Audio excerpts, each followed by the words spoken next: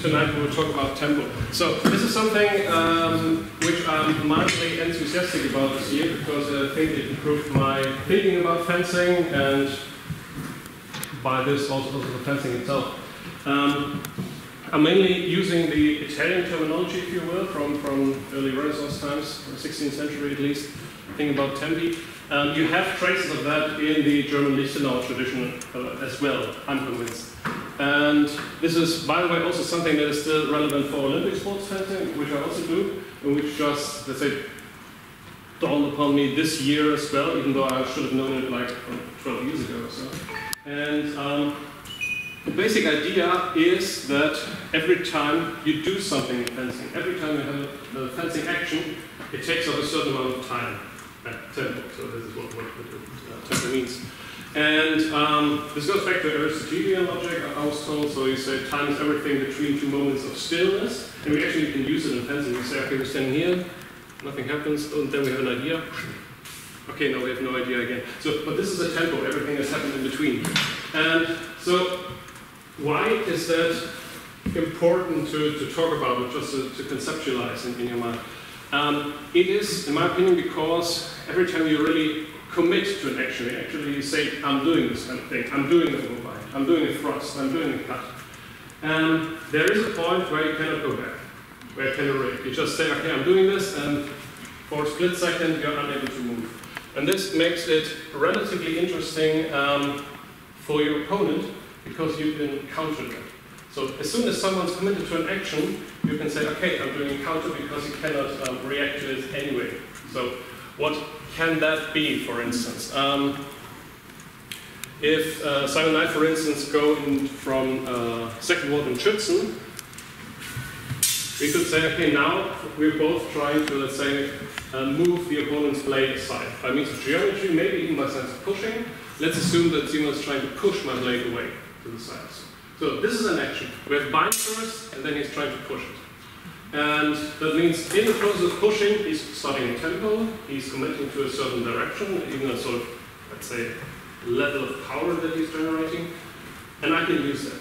And what I try to, what I really like to do in this moment is the, the Durchtreten technique, according to uh, MS I.33. And in very slow mo, it looks like this. We have this here, moment of stillness. Now he tries to push. So he is opening a tempo. And shortly after that, I feel that, releasing the blade, and he is basically continuing his tempo here. Because so he has committed to this action, he goes there, and I can go here, overtake him, and hit him. So this is important uh, to know. So if someone commits to an action, there must be a way of going into the action, let's say shortly after he's done. This is, by the way, where in the German Lichtenauer tradition I uh, would place the indes, which means like in the middle. But it's the same thing. It's in the middle of something, it has just begun, and I'm doing it. Another option would be, let's say, I'm trying to thrust you from 6 ward, and when I'm really trying to reach you, you do an overbind. So, very simple. Going here. So, you could say, that is my moment of stillness. And now I think I'm, i really want to hit him. I commit to this action, and he has me. And then he can follow up. In this instance, he doesn't immediately hit me, but he can displace my blade and prepare something else. So, and this is an important thing because, um, it seems very obvious, and in technical training it, it happens. But for instance, it can happen in free play that you, you have a similar situation, coming from six, and he's somewhat overbinding you. Uh, so, and you end up here. Okay, trying to find out what, what happens. And if you know about tempo, you knew that you would have had to react much earlier. So because the tempo where I'm reacting to this for instance, is here. In the moment where he's initiating his action, where he's committing to it, and you see it goes all the way to the side, I have time to overtake it. So every time you find yourself in a situation where you say, okay, how did we come to this? So the point of the bind somewhere outside, I'm not even sure what I'm supposed to do. Um, that's probably where I took the wrong turn, like three actions earlier.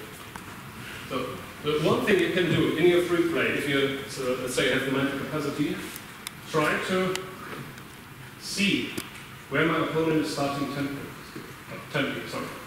Um, so you do something, he starts doing something, and try to see when that happens, or try to feel when it happens, usually when it comes. comes. So if I'm doing a thrust and he's doing an overbind, I will try to do Mutatio Gladii, which is like also basic rapier technique. We'll just try and demonstrate that. Something like this. So what happened now in terms of tempi, if we do it again very slowly, so I'm having a tempo here, but very carefully it's just here. He's doing overbind, I know he is committing to an action, that's where I go wrong.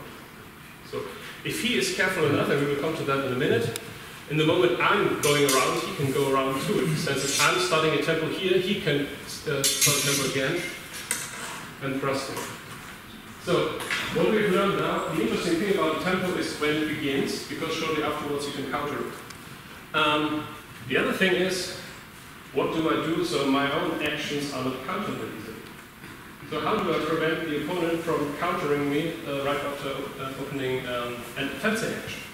And so this is actually where we can get back to, to George Silver, for instance. I, haven't read him in a long time, but I believe now uh, what he means with his true times and false times, which I mean, uh, I believe many of you have heard before. So, anyone have an idea what true times and false times mean in George Silver? Just a quick summary. Yep. Create safety with your weapon and move your body afterwards. Okay, so, so you're safe and then you move your body. Yes. Okay, so that means we have to move arm, or with, with, I think it's hand, And hand, body, foot, or, or two feet actually. Yeah. And me, for, for quite some time I thought, yeah, this basically means I mean I have to bring the weapon forward to have safety, and um, maybe also because this is not so easily visible, and then you um, follow the foot. Um, now I believe it's slightly different. The thing is, if I don't want to um, be countered, for instance, with this thrust. So my, my idea is to bring this thrust here, hit him. So as we have seen, he can just overbind me and um, destroy everything. So how do I keep um, how do I keep myself aware of what can happen? How do I keep myself flexible, let's say, mentally and al- al- also in my body, so I can react to his overbind? And this is actually by slowly, uh, starting slowly working myself into the opponent. So my tempo might start here, but I'm still, every time I'm going forward, I'm able to react. I'm able to do something. So I'm planning, if you will, my tempo carefully. I know it starts here, and if it does nothing, the other nothing. Yeah, okay, I just push my thrust home. So maybe take a step. So that's a full tempo. But if, if I do it, uh, uh, if, he um, overbinds me, I can say, oh, no problem, I can react with my blade. Because I've just started it. I'm in in a very um, initial stage of, of, of doing my tempo. So um, I can react. He can go into my tempo, but I can react to that. What's not, uh, what does not work is starting with the foot, for instance. When I'm saying here, okay, I want to go there. So that did not only not work because I was, let's say, not um, protecting myself with the blade, for instance. Uh, it, uh, it did not work because at the beginning of my tempo, I was already doing something I cannot really stop. And a step, taking a step, is one of the things where I really, and you need to be really good to, while taking a step, redirect your blade because you felt something in between. So taking a step is the one thing where you can say, okay, if I counter in that moment, there's a pretty high chance of success. So he is waiting for my tempo. And if my tempo is designed to, let's say, be wrongly constructed or false, if I do it in a false time, he can get me without a problem. So thi- this is the other thing. So this, is, I think, um, the two very, or the two most important aspects when I'm working with this idea of fencing theory. Every time you do something, it takes up time, and you commit to something. And you want to be able to know when your opponent commits to something so you can counter him. But you also want your own tempi to be invisible, as it were. So he doesn't know when to do a counter. So, and um, there's, for instance, one thing where we say the uh, durchtreten Technik against the right level by the We talked about this earlier. Um, if you on here, please. Um, this is one, I think, uh, at the current state of affairs of our interpretation, this is one thing where tempo is really crucial. So if um, Simon overbinds me, and I cannot do a mutatio, for instance, I could do a durchtreten, but this is a really a tempo issue. So what it means is, coming here, I got it, I need to do it here. But this action something only works if I get his tempo. So if Simon's taking a step now, I have a good chance of, of delivering this uh, durchtreten and the Sturzhauer. So, but if Simon is carefully, he's overbinding, following me. He's doing very little steps. So, so he has very short tempo. He can always react. He can uh, instantly counter my durchtreten, which looks somewhat like this. So now Simon is very careful. He's carefully planning his durchtreten. And this means I'm the one starting a tempo and he can react to that. So that is the thing. So keep in mind, um, I know this is probably very, and not only theoretically, it's probably been hard to guess if you haven't felt it. So um, uh, if you want to discuss this further, you can always ask me.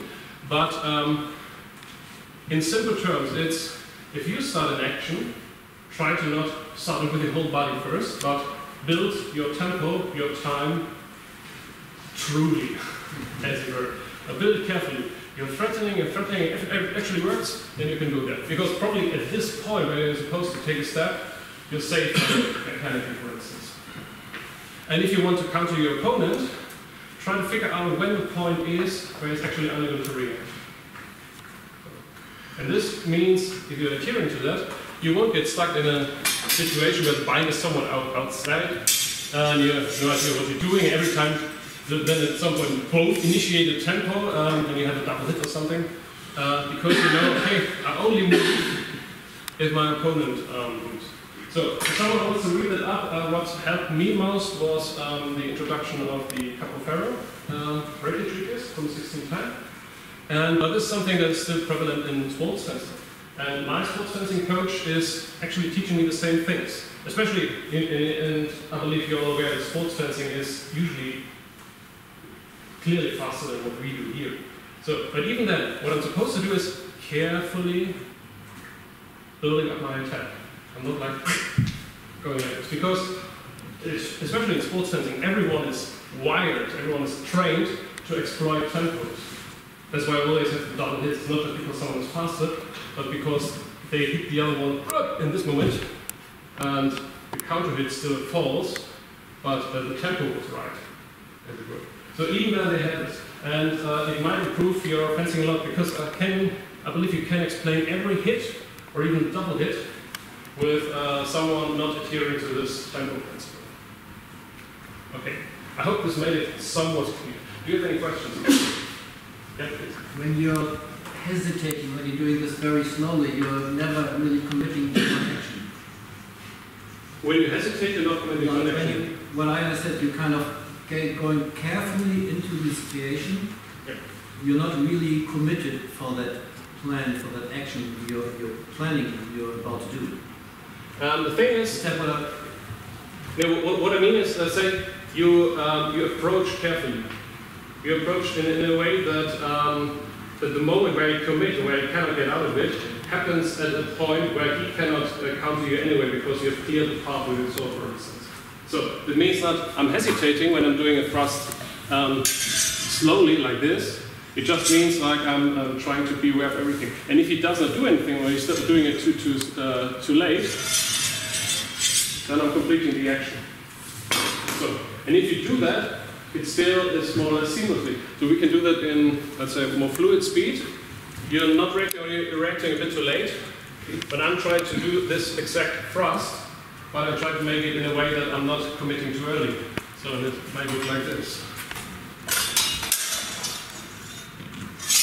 So you've seen there was a slide. Um, slight delay shortly after establishing the bind, and then I pushed it home. I think if I train this properly, I can do it even more. But at the same time, I'm always prepared to do a counter because I've trained it in that way. So it might look fast from uh, the outside later, but it's always an approach of working myself into the opponent slightly. And this is, I think, what. Um, okay, it's political, but if it's on YouTube, it's fine. I can just take it like. I mean, well, what's what's lacking in, in most uh, free league tournament fights that we have, that people are not so much working themselves into the opponent; they're trying to hit immediately. So, but I think it's always good to pose a threat and then work a serve, go for the next opening, and always in this, let's say, careful approach where you uh, get closer, but you're not immediately committing to the complete action right away. Any other questions? Okay, if you want to um, try that out or have any other questions, um, feel free to ask me, and otherwise, thank you for attention.